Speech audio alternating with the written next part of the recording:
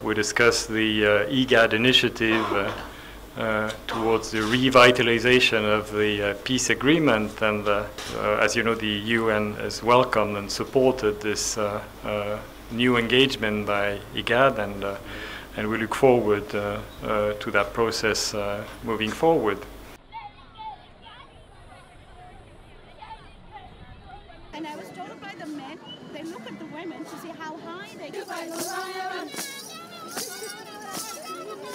You know, my visit to Malakal was uh, informative uh, on the efforts that are being made uh, to support uh, the uh, population there, the, the IDPs, but also the, the population as a whole, again,